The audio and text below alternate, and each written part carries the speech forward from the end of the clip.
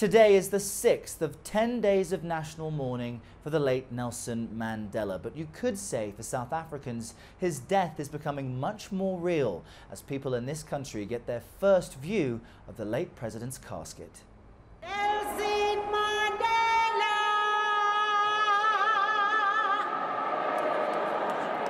After a raucous memorial service in Soweto, a more somber scene today in Pretoria as the body of Nelson Mandela lies in state in South Africa's capital.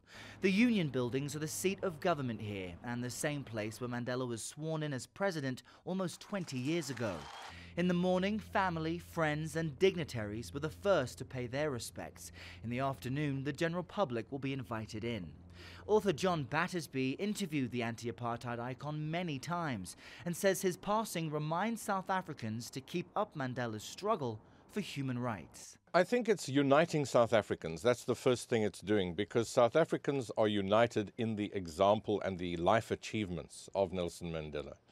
Um, I think it is reminding them of the fact that there's a long way to go on the road of delivery. Mandela's memorial service on Tuesday brought together dozens of world leaders. A longtime friend of Mandela says that's evidence of his influence around the globe. Even though he came from South Africa and even though all of us in South Africa feel that we own a part of Mr. Mandela, I think the world, and rightfully so, feels also that he is their own man, he's their own son. The public will also be allowed to file past Nelson Mandela's casket on Thursday and Friday.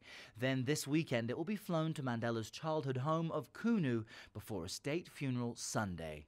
Thousands are expected there to say their final goodbye to a man who inspired so many. Like sometimes I feel like there is no words in the world that could describe, Mandela. You know, because he is so, you know, so generous, so so.